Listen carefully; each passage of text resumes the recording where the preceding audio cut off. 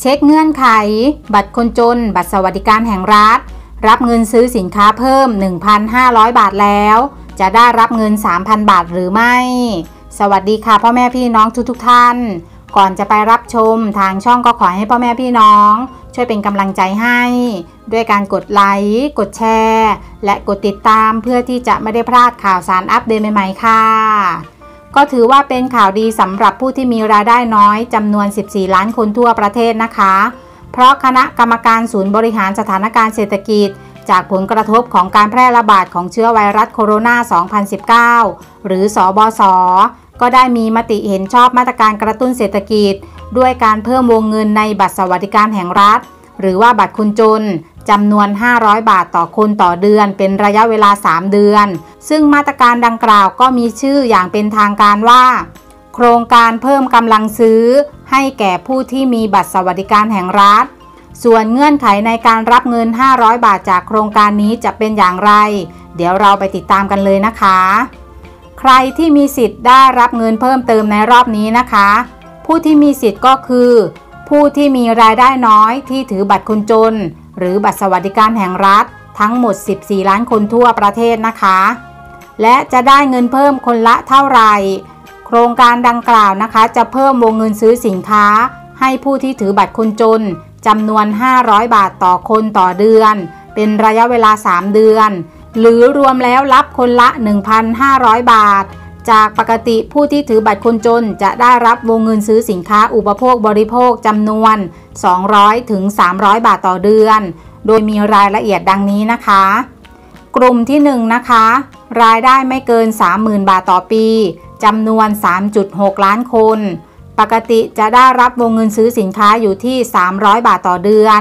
ก็จะเพิ่มเป็น 800 บาทต่อเดือนนะคะ กลุ่มที่2นะคะ รายได้เกิน 30,000 บาทต่อปีจำนวน 10.3 ล้านคน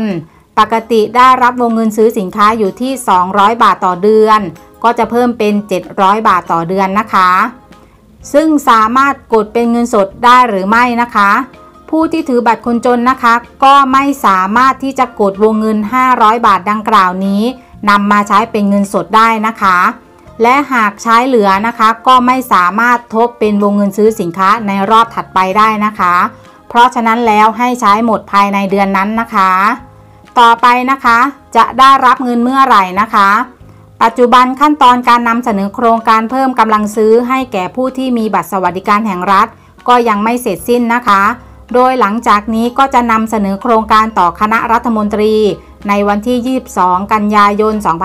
2563 จึงคาดว่าจะเริ่มจ่ายเงินงวดแรก ได้ในวันที่ 1 ตุลาคม 2563 นะคะ งบประมาณที่ใช้มาจากไหน โครงการนี้นะคะก็ใช้งบประมาณรวมทั้งสิ้น 21,000 ล้านบาทนะคะ โดยนำมาจากเงินกู้เพื่อฟื้นฟูเศรษฐกิจและสังคม ในกรอบวงเงิน4แสนล้านบาทนะคะ ได้เงินบัตรคนจนเพิ่ม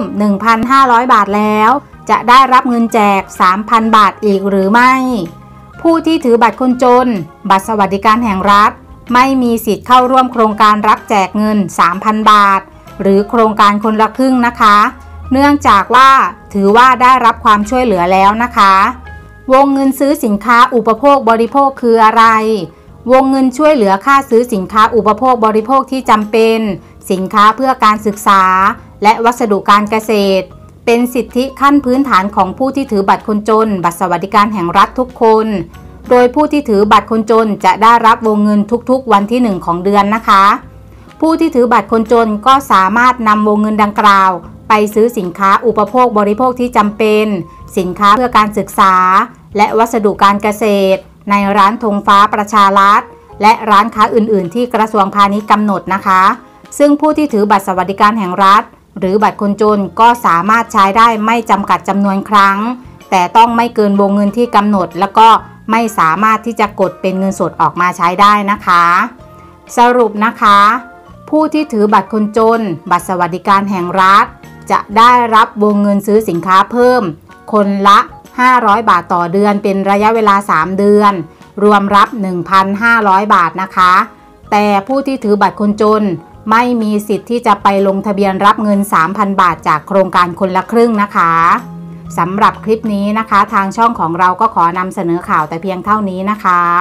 ขอบคุณพ่อแม่พี่น้องทุกๆทท่านที่รับชมรับฟังในคลิปนี้นะคะ